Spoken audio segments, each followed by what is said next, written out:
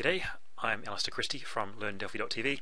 Um, go to LearnDelphi.tv uh, to check out some of my other videos and some of my. Uh, I've got some commercial videos which are um, quite useful, uh, but not for what we are going to be looking at today, which is building a FireMonkey mobile application. Let's try that again. There we go. Okay, so I'm just going to create a uh, blank application and we're going to write sort of a, a mobile Fish Facts, sort of the, the, most basic version of it um, that I could come up with. Uh, to start off with, I throw a client dataset on and load some data, and we'll load the, the classic BioLife uh, Fish Facts database.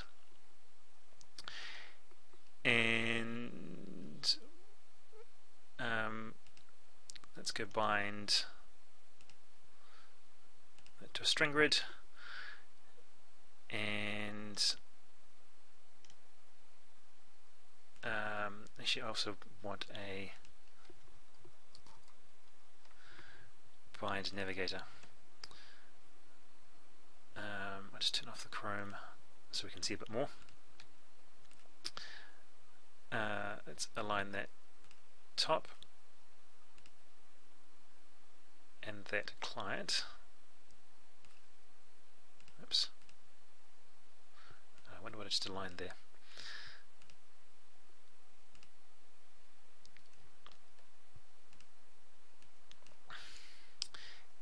And hook that up to the oops bind source and I'm just going to get rid of some of these buttons.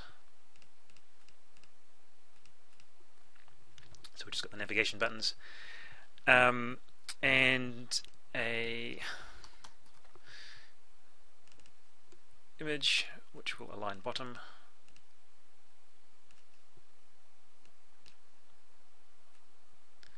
A little bit bigger. And we want to bind that.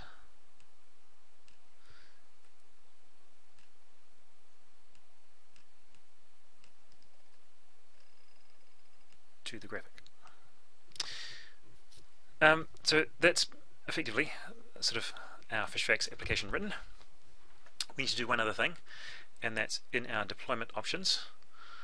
Um, we need to add uh, F, F edit a featured item, and it's the Midas library, uh, so that we can use our client dataset. Um, so that's pretty much ready to run.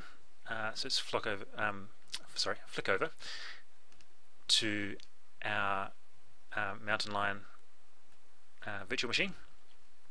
Uh, it is possible to install OS 10 into a virtual machine. It's uh, pretty tricky. Uh, requires uh, some some serious hackery, um, but I won't go into into specifically how it's done. You can sort of look that up on YouTube or the internet. Um, so we've got our PA server running, and uh, and I've configured um, the sort of we're going with the uh, iOS simulator and um, sort of the various bits and pieces set up.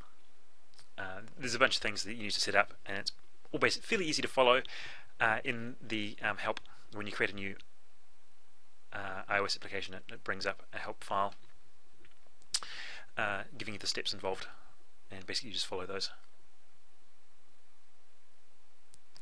Which you know, effectively involves you know installing Xcode and uh, some of the SDKs and um, some other bits and pieces. So uh, here we go. So there's our, our application running, and we can navigate through. So uh, this is this is the pretty much the extent of my uh, fiddling with um, iOS. I'll uh, be doing um, some more application development. Uh, I've managed to crash it quite a few times, but I'm not sure whether that's me doing um, sort of inappropriate things with the uh, with virtual machines.